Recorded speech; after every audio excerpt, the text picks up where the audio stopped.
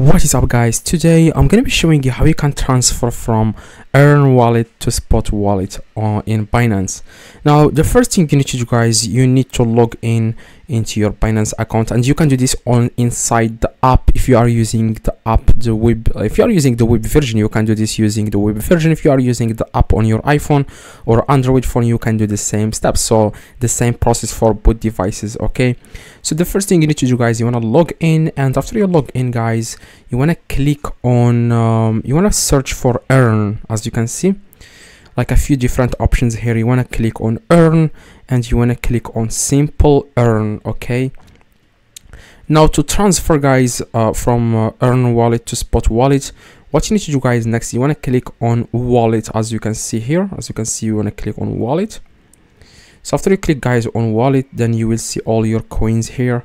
Okay you want to scroll down and where it says here assets total amount i to subscribe like currently i don't have any here so for you it says for me no records found but for you you will find here all your coins and you can transfer these to your spot wallet now i don't have it but my friends uh, my friend made a video about this i'm going to like fr from here just keep watching this video if you see this button right As you here, can it's see. auto subscribe. So if you actually move that, it tells you that you know all the transfer that your corresponding asset, um, you know, it will be like whatever it is in your spot wallet that will be transferred to Earn wallet every 24 hours if you do auto transfer.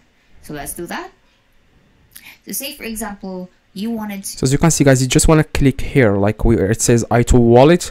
No, I'm sorry, I to subscribe. So that's exactly what you need. So I can't really show you inside my, my balance because I don't have funds on my balance to redeem already on whatever earnings that you have, you click on this one.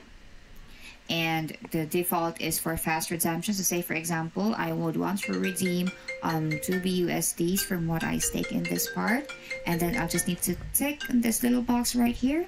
You hit on confirm and you see this message redemption successful. When you do view holding, you can actually go to your spot wallet and you will see that you know it's already posted there. So I hope guys this video helped you. Like I said, this is exactly how you can transfer from Earn wallet to Spot wallet.